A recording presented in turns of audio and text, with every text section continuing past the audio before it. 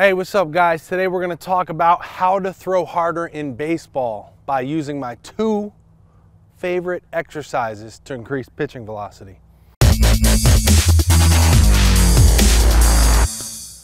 Guys, if you haven't already, hit that subscribe button and don't forget to check out my three pitching tips to instantly increase your pitching velocity.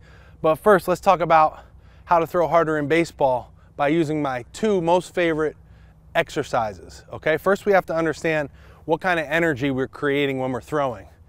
And we're creating two types of energy, linear energy towards our target, right?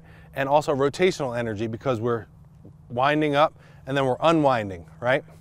So these two types of energy are very important in pitching and throwing in general. So the two types of uh, exercise, my two most favorite exercises to throw harder in baseball are going to be number one, skaters, and number two, medicine balls. Okay, so skaters are, we're just going to get into a good uh, wide athletic position and we're going to be driving or jumping side to side as far as we can. This is going to help us create that good linear energy, get stronger on our legs and be explosive. We really want to focus on keeping our knee inside of our foot as we drive so we can create more ground force. This translates well into throwing and helps us train our linear energy. Now, medicine balls are great for the rotational energy. What we want to do when we're throwing the medicine balls is create that same separation we would be trying to create when we're pitching. So whether we're throwing it from down low at our hip and working on exploding our back hip to help throw the medicine ball or holding it up by our back shoulder we still want to create that separation and then explode as we throw that medicine ball.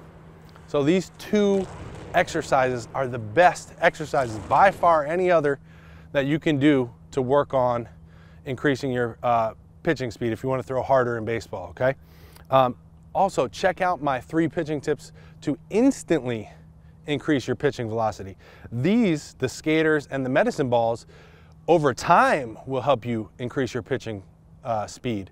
But I've got three tips for you that will instantly, meaning if you implement this stuff uh, when you get it, a few minutes later, if you're doing it correctly, you'll see an uh, increase in your pitching velocity. So check that out. Uh, click the video that's on the screen right now. Uh, it's gonna send you to a page where you can put your first name and your email in, and then I'll shoot you that video uh, right away so you can start working on that stuff.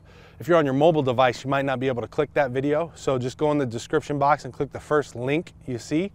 Um, and that's gonna take you to the same page. You put your first name, your email in there, and I'll shoot you over that video. Um, but you gotta implement the stuff, okay, for it to work. So get to work once I send you that video. If you like this video with these two uh, exercises, give me a thumbs up.